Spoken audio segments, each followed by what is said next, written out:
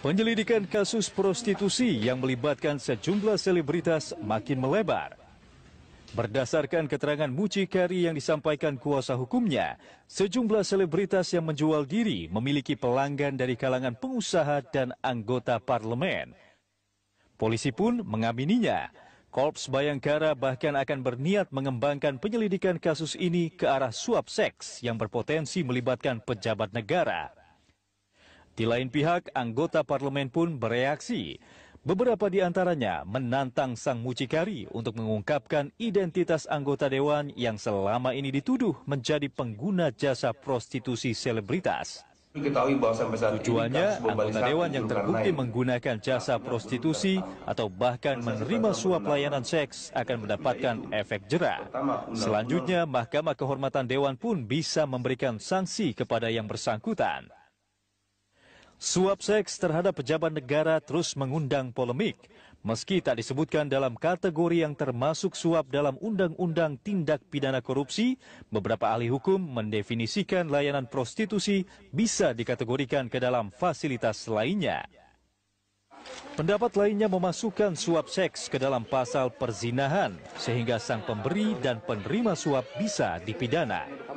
Kenyataannya, sampai saat ini penyidikan suap layanan prostitusi seolah menjadi renyah untuk publikasi media, tetapi kecut bagi penegakan hukum. Lantas, apakah benar suap layanan prostitusi marak terjadi di kalangan anggota dewan? Bagaimana payung hukum yang mesti diwujudkan agar para pelaku bisa dijerat dan dihukum? Pemirsa sekarang kita akan membahas tema suap layanan prostitusi untuk pejabat negara bersama dengan dua narasumber yang sudah hadir pagi ini di studio Berita 1 ada salah seorang anggota Komisi 8 DPR RI Arzeti Bilbina serta ahli hukum pidana dari Universitas Trisakti Yenti Garnasi. Selamat pagi Ibu-ibu, selamat datang di Berita 1 TV dan kami juga mengundang Anda untuk memberikan komentar lewat SMS ke 0811 833 5551. Anda juga bisa menelpon melalui nomor interaktif di 021 52900 308 atau juga di 021 52900 311. Baik, kita ke Mbak Arseti terlebih dahulu. Selamat pagi. Um, sepengetahuan Anda, Mbak, um, apakah suap pelayanan prostitusi ini memang ada di kalangan anggota dewan? Pagi-pagi judul seperti ini kok nggak nggak menarik ya, gitu karena pemberitaan ini tentunya bagi perempuan khususnya saya di Komisi 8 hmm. ketika pemberdayaan perempuan perlindungan anak berita ini kan anak-anak kita pasti mendengar gitu jadi sesuatu berita yang tidak memberikan langkah positif bagi anak-anak dan juga ibu-ibu yang memang pada saat ini mereka sedang punya kesempatan untuk menyaksikan uh, uh, acara-acara di televisi kalau dikatakan apakah pernah mendengar saya pribadi tidak pernah melihat, tidak pernah mendengar dan tidak tahu dan dan saya rasa teman-teman saya di, di di parlemen yang saya lihat secara nyata saya tidak pernah melihat mereka melakukan eh, hal-hal seperti itu. Oke, nah tadi kita lihat ada pernyataan iya. kuasa hukum dari uh, eh, RA. Bagaimana anda menilai pernyataannya? Apakah memang itu cuma isapan jempol aja? Karena kan dibilang pejabat negara sampai anggota yeah. parlemen. Atau Sebetulnya memang bukan isapan jempol. Mungkin saja ada uh, ada ungkapan, pasti ada juga ada kenyataan. Hmm. Kalau kita bicara mengenai banyak sekali yang menggunakan. Nah, sekarang yang harus kita bahas bukan sebagai siapa yang menggunakan dan siapa yang menjual, tapi bagaimana uh, ada hukum atau efek yang memang memberikan uh, solusi untuk permasalahan ini. Kalau yang kita kupas tentang uh, RA Nyun Sewu, terus RA uh, menggunakan uh, apa uh, anak-anaknya untuk digunakan oleh para pejabat sehingga ya. kemudian pejabatnya yang dikejar gitu loh. Tapi itu kan bukan merupakan solusi tentu memberikan pemberitaan-pemberitaan yang justru membuat masyarakat oh siapa lagi siapa lagi akhirnya tahunya yang yang tidak positif gitu loh. Mestinya kan tindakannya seperti apa? Ada solusi yang harus dilakukan, cepat tanggap sehingga kemudian berita ini akan selesai dengan dengan dengan cepat dan ada solusi gitu loh. Iya, iya. Nah, ini berbicara mengenai kepolisian ya. Iya. Polri sendiri kan uh, sudah merespon tuntutannya seperti itu. Mereka akan kembangkan penyidikan ini ke arah uh, suap layanan prostitusi. Anda mengapresiasi langkah Sangat-sangat harus ada yang namanya uh, undang-undang juga yang memang harus diberlakukan secara keras di sini agar mm-hmm. seperti negara-negara maju mereka sudah punya undang-undang itu dan siapa yang melakukan, siapa yang menyuplai, siapa yang mendiman itu tentunya ada tindakan-tindakan yang bisa diberikan kepada mereka sehingga kemudian ada efek jerah dan kemudian tidak ada lagi terjadi hal-hal seperti ini prostitusi online seperti ini yang memang sebetulnya tidak perlu tidak perlu kita kita kita beritakan terus diumbar-umbar sehingga kemudian masyarakat kita akhirnya digiring dengan berita yang sebetulnya masalahnya bukan di situ intinya adalah bagaimana penyelesaian masalah ini. Gitu. Termasuk juga penyusunan undang-undang seperti itu. Berkaca harus, ke negara mana saja? Amerika kan ada ya pada saat itu kalau kita bicara mengenai uh, siapa yang pernah ini uh, Tiger Woods dulu pernah ya hmm. dia pernah kena, kena sanksi juga dan kena penalti juga dihukum juga gitu loh dan sehingga kemudian kalau kita bicara mengenai tadi diceritakan bahwa pejabat publik, parlemen, anggota dewan gitu yang memang harus dikupas. Ya tidak apa-apa kalau memang mereka melakukan silakan di, di, di iniin sehingga kemudian mereka diberitakan di, di di, diceritakan siapa mereka, di, diekspos mereka sehingga kemudian teman-teman yang lainnya atau atau pejabat-pejabat yang lainnya sehingga kemudian merasa merasakan bahwa hal-hal uh, ini tentunya akan dipublish sehingga kemudian mereka akan akan ada efek jerah sehingga tidak akan terjadi lagi hal-hal seperti ini nggak masalah buat kita. Gitu. Baik, oke kita ke Bu Yenti. Bu Yenti melihat tadi pemberitaan yang sudah uh, berlangsung seperti itu, hmm. bagaimana pandangan anda terhadap upaya hukum dari Polri sendiri? Gini kalau saya lihat fenomena dulu ya, fenomena, fenomena okay. ini kan berawal dari RA itu ya, kemudian hmm. muncul di masyarakat bahwa tarif uh, antara sampai 200 juta kan ya hmm. antara berapa ya? 5 30 sampai 200 sampai berapa? Nah, 80 itu. sampai 200 benar. itu kan sudah sudah terlanjur menjadi fenomena menjadi konsumsi masyarakat. Hmm. Dan masyarakat menuntut siapa sih yang bisa bayar segitu? Hmm. Ya kan? Yang bayar segitu siapa? Pasti bukan orang-orang kebanyakan lah. Hmm. Nah, kalau sampai yang bayar segitu atau dibayarin segitu itu adalah orang-orang yang me, apa, pejabat atau pejabat publik ya, apalagi bukan uangnya dan orang ini akan menjadi apa penggerak perkembangan bangsa ini. Betapa gitu. Itu kan penting sekali menurut saya. Karena apa? 60 eh, juta, 200 juta. Terus gimana ya? Apa uh, ini ada hal-hal yang yang memang harus diatur. Nah, seandainya ini kan dua hal. Apakah dia bayar sendiri kayaknya nggak mungkin.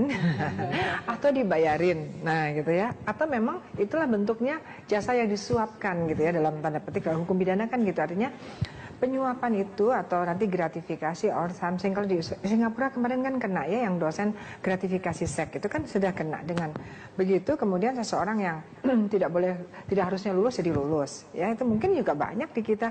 Hanya kita nggak ada payung hukumnya nah, kalau suap misalnya kan begini dia menerima barang atau menerima jasa yeah.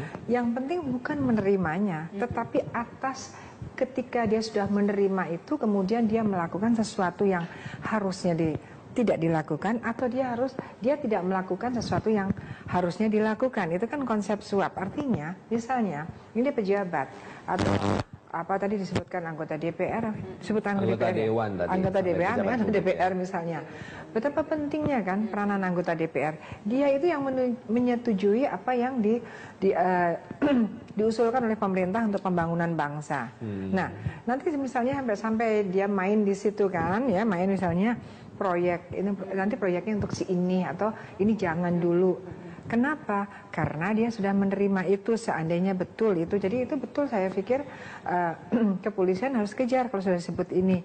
Artinya gini, kalau kalau itu bukan percinahan kan, kalau itu masuknya kepada suap berupa pelayanan dalam bentuk lain fasilitas tadi, lain. itu adalah fasilitas fasilitas lain, itu adalah delik biasa. Artinya kepolisian sudah mendengar, sudah tahu sendiri, tahu sendiri itu dalam hukum uh, apa penegak hukum mengetahui sendiri atau menerima laporan atau pengaduan.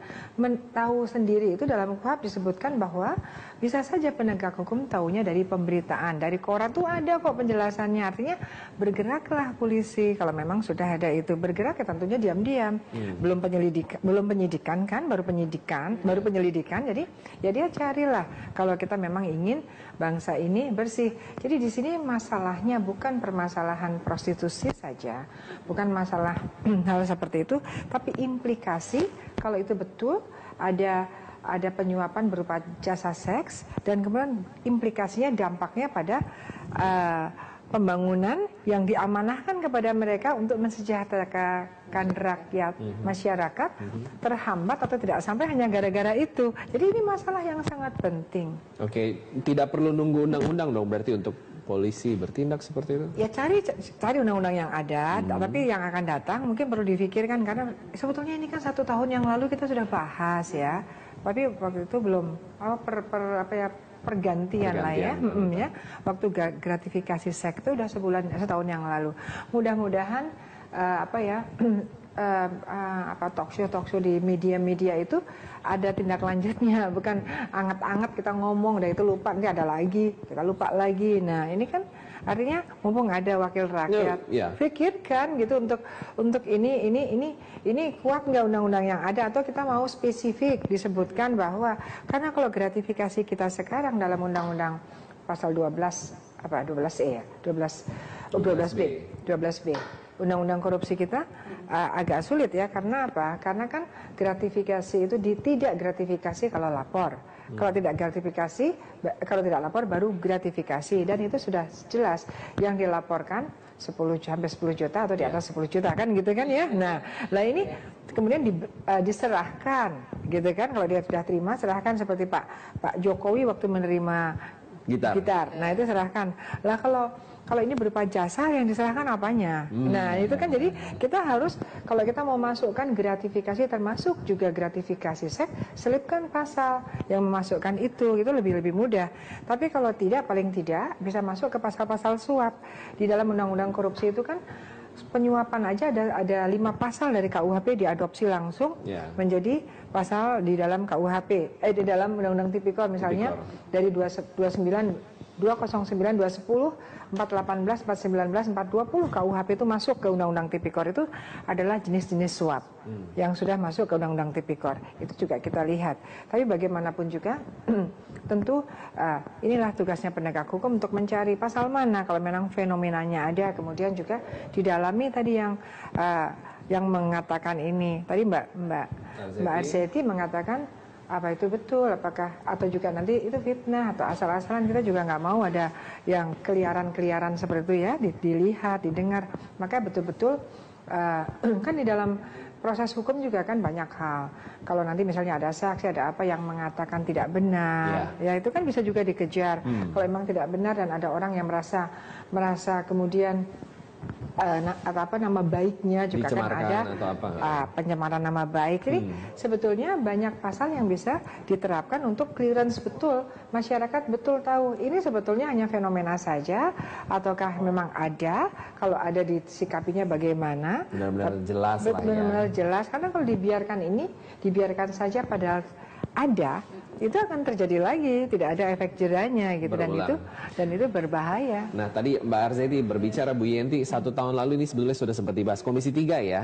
b- eh, Ya, kalau Siti kan di Komisi 2. Ya, Dibahas- apakah komisi dibahasnya bukan belum dibahas ke sana tapi bahwa itu menjadi aspirasi masyarakat sudah dibahas di media-media difikirkan ini ada ada fenomena begini gitu kan sementara DPR kan juga boleh dia kan punya inisiatif DPR juga ada tidak harus Ya. menunggu dari pemerintah nah ini kan anggota DPR juga harus harus memahami betul bahwa kebutuhan-kebutuhan kalau mereka memang merasa membawa aspirasi masyarakat, apa yang dibutuhkan masyarakat, ya nggak usah selalu menunggu dari eksekutif. Kan mereka punya fungsi membuat undang-undang secara inisiatif DPR. Nah ini yang yang kita kita bebankan pada mereka. Nah, berdasarkan statement eh, Bu Yenti tadi apakah Komisi 8 sudah menjembatani hal ini atau Tentunya ya, apa pun eh, isu-isu yang memang eh, meresahkan masyarakat itu pasti kita akan bawa gitu loh. Dan memang di sini ini juga akan kita eh, bawa untuk eh, menjadikan satu undang-undang atau hukum yang memang akan diberikan kepada eh, eh, kepada permasalahan-permasalahan yang sedang terjadi.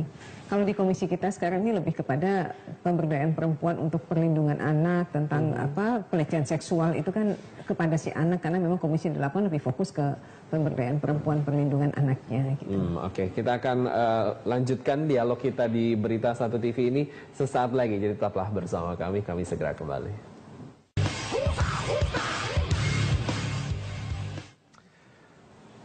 Kita kembali di dialog tentang suap layanan prostitusi untuk pejabat negara. Dan masih bersama dengan dua narasumber saya di sini, anggota Komisi 8 DPR RI, Arseti Bilbina, dan juga ahli hukum pidana dari Universitas Trisakti, Yenti Garnasi.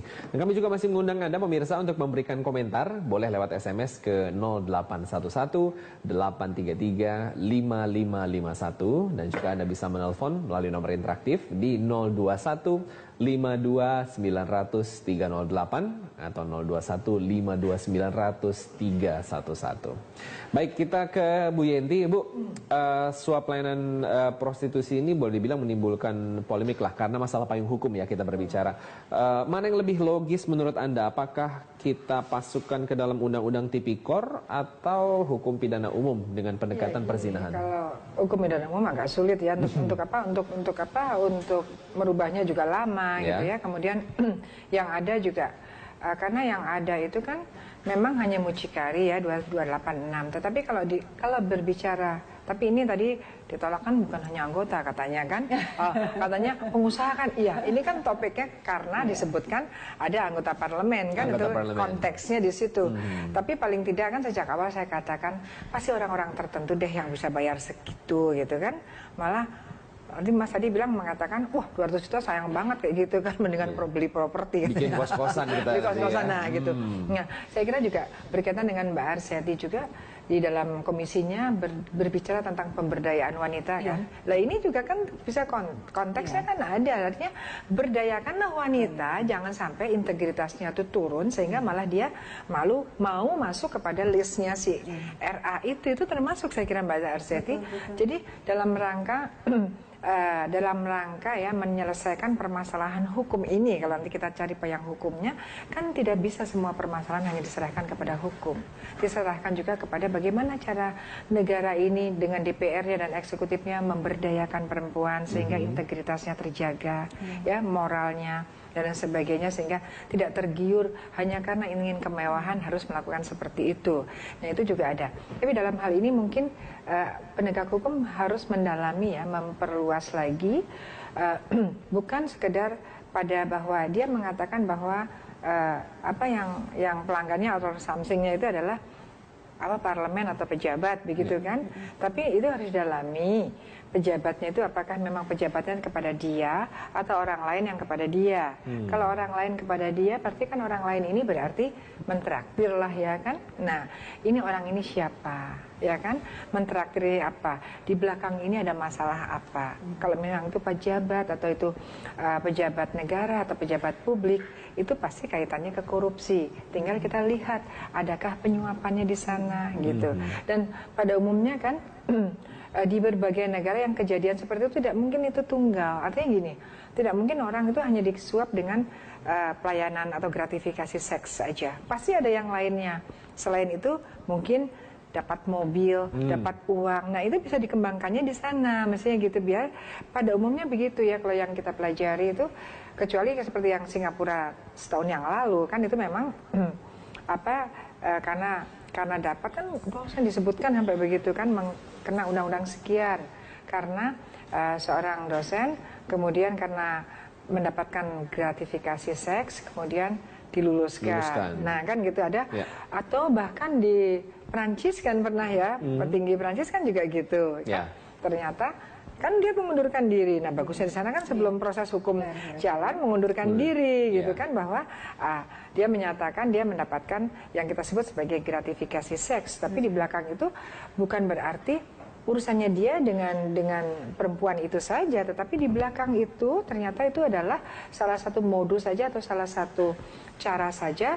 Ini loh pemberiannya, gratifikasinya, tetapi setelah itu dia melakukan apa atau tidak melakukan apa pejabat tersebut. Itu nah, di situ masuknya. Kita nah, hmm. ini kita sekarang sudah ada penelpon, kita terhubung dengan Bapak Sabinus dari Pematang Siantar, Sumatera Utara. Selamat pagi Pak Sabinus.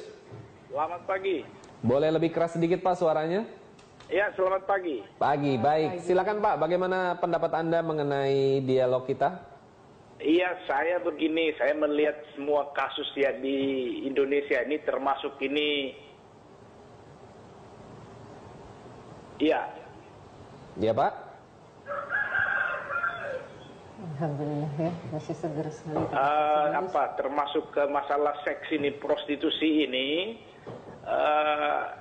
saya lihat begini sayang sekali pengamat pejabat itu hanya ibarat misalnya menyelesaikan masalah itu menghilangkan asap tanpa mematikan apinya.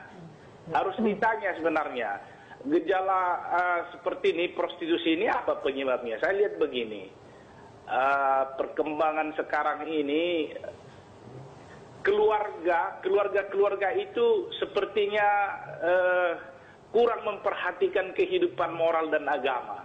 Mm-hmm. Jadi memang di Indonesia ini untuk menghilangkan ini butuh menteri untuk ya urus keluarga dengan ini secara khusus misalnya untuk menanamkan moral dengan agama yang benar.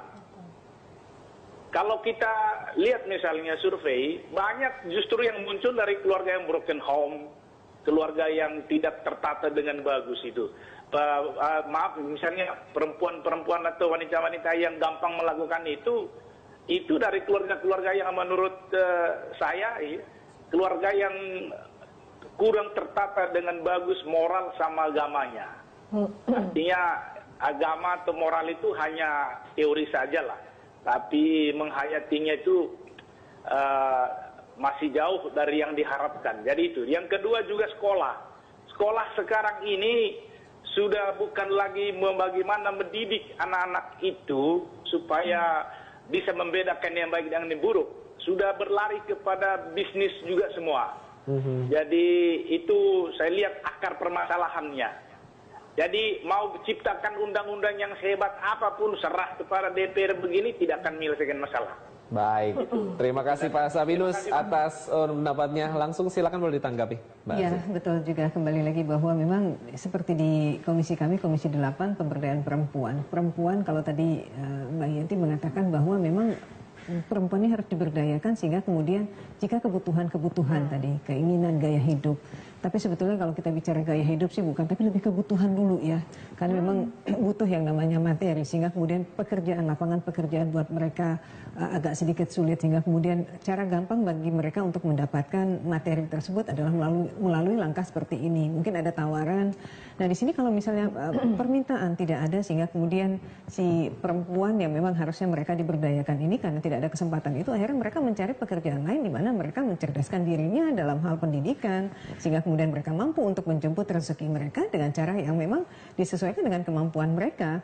Sehingga kemudian memang di Komisi 8 fokus sekali untuk saat sekarang di mana kami membuat bahwa pemberdayaan perempuan dan juga untuk perlindungan anak sehingga tidak terjadi yang namanya pelecehan seksual dan lain-lain yang memang sekarang marak juga sedang terjadi hmm. itu yang memang uh, sedang kami godok secara secara matang karena memang sebetulnya Pak Sabinus tadi mengatakan ada pun undang-undang kalau uh, kalau revolusi mental masyarakatnya sendiri mereka juga tidak paham mengenai bahwa mereka tuh harus hidup seperti ini sehingga kemudian tidak ada yang namanya uh, apa apa Eh, penyimpangan-penyimpangan yang yang sekarang sedang sedang terjadi seperti ini. Sehingga kemudian keinginan masyarakat kita untuk menata dirinya tidak harus dengan dengan adanya payung hukum mereka sendiri akan bisa berjalan dengan baik agar perempuan ini sendiri juga jika mereka punya punya punya satu apa ya uh, kesempatan untuk mereka diberdayakan sehingga kemudian penjemputan rezeki bagi mereka sendiri ini sehingga kemudian mereka tidak akan melakukan hal-hal yang yang memang uh, bagi Pak tidak Sabinus tadi ya. tidak seperti nah, itu. Yang saya catat dari uh, perkataan Pak Sabinus tadi ya. adalah salah satunya bagaimana Menteri Pemberdayaan ya. Perempuan dan Anak Betul. sejauh ini melihat bagaimana peranan? Ya memang uh, kemitraan antara Komisi 8 dan Menteri Pemberdayaan Perempuan sendiri sekarang memang lagi intens sekali kami mhm. melakukan mm-hmm. pendekatan agar permasalahan-permasalahan masyarakat ini kalau memang kemarin bicara mengenai tentunya ada anggaran yang memang harus kita tekankan agar masyarakat-masyarakat bukan hanya di perkotaan saja tapi di pedesaan pun mereka juga mendapatkan pendidikan, pelayanan, fasilitas yang memang harus disesuaikan dengan kebutuhan untuk saat sekarang. Dan itu memang kita kita sedang uh, kupas secara dalam makanya kita pun selalu melakukan kunker ke daerah-daerah apa sih kebutuhan dari masyarakat perempuan itu inginnya seperti apa. Nah itu memang sinergi ini yang harus selalu kita gerakkan selalu dan, dan saat sekarang memang kita ingin sekali untuk permasalahan perempuan itu bisa terselesaikan dengan baik sehingga kemudian perempuan itu tidak dijadikan alasan untuk eh, mereka mendapatkan eh, apa ya uh, seperti yang terjadi sebagai penyuapan hmm. yang Mbak Yanti tadi mengatakan. Jadi akhirnya si perempuan yang yang jadinya uh, jadi dipermasalahkan. Uh, yang kebetulan saat sekarang perempuannya adalah mungkin di, di dalam lingkungan entertainment sehingga kemudian itu yang di, dikupas lebih jauh ya? terekspos hmm, gitu loh. Nanti akan kita lanjutkan lagi. Saya punya pertanyaan-pertanyaan tapi segmen berikutnya lah ya. Jadi tetap bersama kami pemirsa. Kami akan segera kembali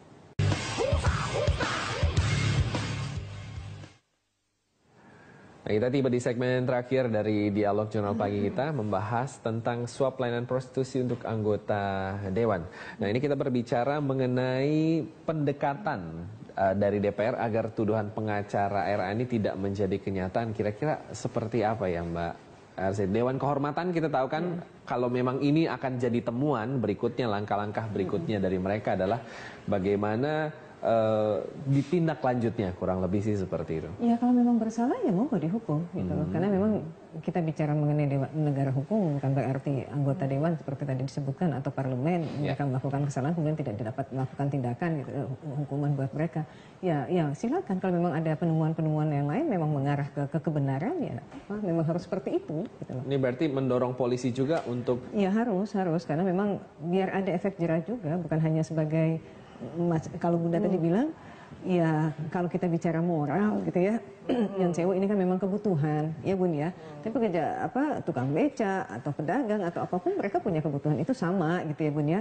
Tapi mereka sendiri bisa menyelesaikan masalah itu gitu loh. Kalau di parlemen sendiri pejabat publik di mana mereka katanya punya punya punya kesempatan punya fasilitas punya uang lebih.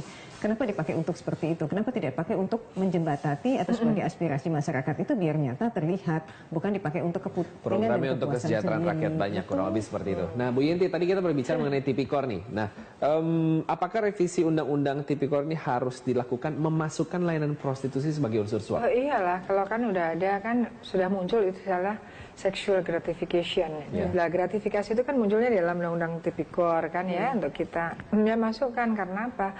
Berkait gratifikasi itu kan pemberian ya. Hmm. Nah, kalau pemberian diberikan kepada pejabat atau kepada PNS atau pejabat publik ya, hmm. itu sudah masuknya ranahnya undang-undang korupsi. Kalau suap yang lain ya undang-undang lain kalau memang antara mereka yang tidak ada pejabatnya. Hmm. Kenapa kita masukkan ke undang-undang korupsi karena kita melihat daya rusaknya itu lebih parah. Tadi Mbak Arseti sudah mengatakan bahwa ya namanya prostitusi itu kan masalah sejak zaman kuno kan ya. Iya, nah, tapi siapa nih pelakunya iya. ya kan misalnya ada ada apa lokalisasi dan sebagainya siapa pelakunya.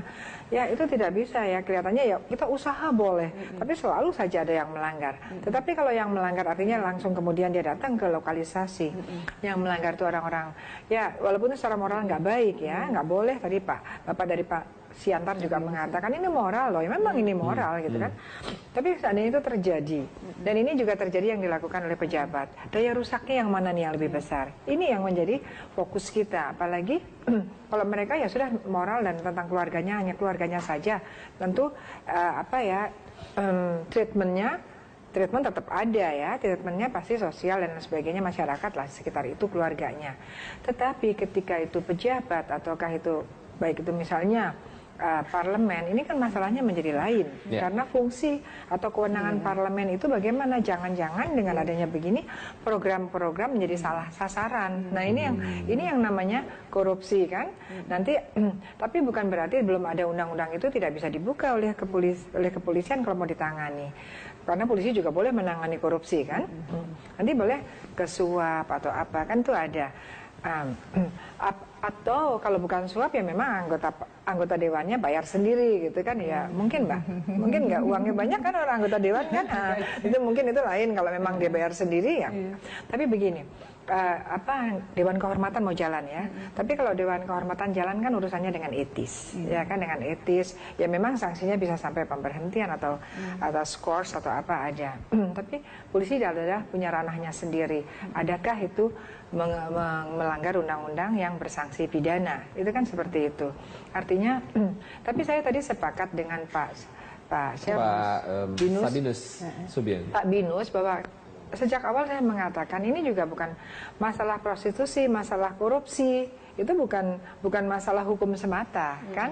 Termasuk masalahnya uh, Komisi 8 dalam hal ini ya.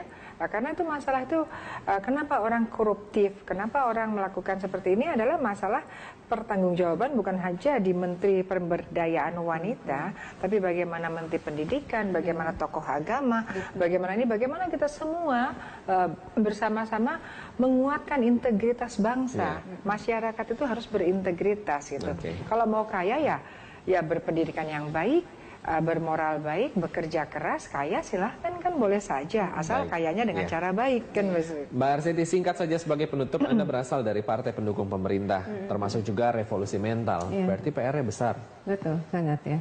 Tapi ini bukan bukan dikatakan PR yang besar. Kita sama-sama masyarakat, pemerintah gitu ya. Kalau kita melihat ini ada isu yang memang selalu berkembang yang kita bicara bahwa isu ini sebetulnya tidak memberikan langkah positif bagi masyarakat khususnya untuk perempuan karena berita ini akan selalu eh, di- diberitakan dan perempuan akhirnya melihat dan anak-anak juga juga mendengar. Tapi bagaimana sekarang caranya pemerintah menyelesaikan permasalahan ini, lakukan tindakan hukum atau buat satu peraturan sehingga kemudian permasalahan yang namanya prostitusi atau suap untuk anggota dewan parlemen itu memberikan efek jerah. Baik, terima kasih atas uh, kehadirannya Mbak Arseti, Bu Yenti. Demikian pemirsa dialog kita dalam jurnal pagi. Tetap bersama kami. Kami akan